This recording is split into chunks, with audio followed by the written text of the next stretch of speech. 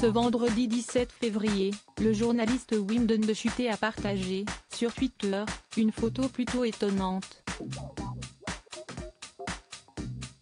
Sur celle-ci, on voit Albert II, l'ancien roi des Belges face à Delphine de Saxe-Cobourg, son ancienne fille illégitime devenue princesse, lors de la messe annuelle organisée à Bruxelles en la mémoire des membres de la royauté belge décédés. L'artiste de 54 ans, que l'on voit de dos, pose une main affectueuse sur l'épaule de son père, tandis que celui-ci lui sourit chaleureusement. En arrière-plan se trouve la princesse Claire de Belgique, qui a une réaction assez étonnante en voyant la scène qui se joue devant elle.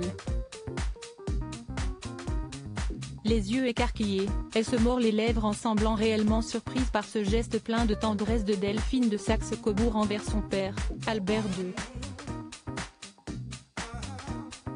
C'est en effet la première fois, d'après notre confrère belge, spécialiste de la royauté, que les deux protagonistes se montrent publiquement tactiles, en s'échangeant notamment un baiser lors d'un événement officiel. Sur le tweet, il est précisé également que la princesse Claire, mariée à Laurent, le fils de l'ancien roi des Belges, depuis près de 20 ans, a une belle relation avec l'enfant longtemps considéré comme illégitime de l'ex-monarque.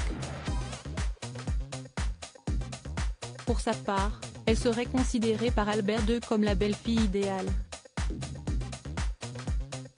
Supérieure à supérieure à Albert II de Belgique, Juan Carlos d'Espagne, Akihito du Japon. Ces monarques ont abdiqué pour leur héritier un long chemin pour se faire reconnaître par l'ancien roi des Belges pour rappel, Delphine de Saxe-Cobourg est la fille de l'aristocrate belge Sibylle de Sévis-Longchamp. Dès sa naissance, il est inscrit légalement que son père serait Jacques-Paul Pascal-Marie Ghislain Boel, un administrateur de société mort en 2022, premier mari de sa mère. Elle n'apprendra que plus tard que son réel géniteur est Albert II. Dès la fin des années 1990, Lorsqu'un journaliste révèle l'existence d'une fille illégitime de l'ancien roi des Belges, elle décide d'entreprendre de longues démarches pour qu'un test ADN soit réalisé. Lorsque celui-ci a confirmé ses origines familiales, Delphine de Saxe-Cobourg a cherché à obtenir une reconnaissance officielle, qui a pris plusieurs années, à savoir jusqu'en 2020. Article écrit avec la collaboration de 6 médias Crédit Photo, Frédéric Andrieux.